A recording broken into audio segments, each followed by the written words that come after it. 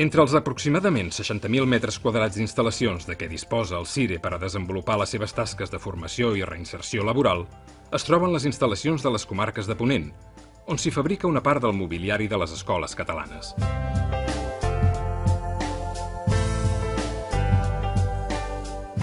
Als tallers es fabriquen pupitres, cadires o armaris, així com caixes de fusta i cartró per al sector vitivinícola i alimentari, i palets i palots per a la indústria, entre molts d'altres productes.